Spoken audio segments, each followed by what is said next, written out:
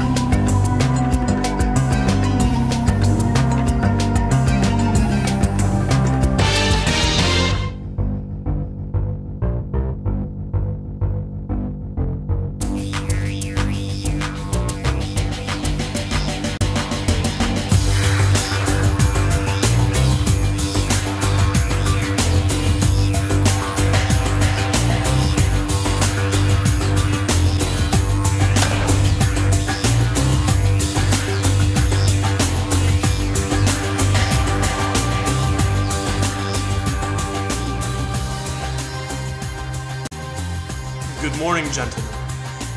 Here is your mission, should you choose to accept it.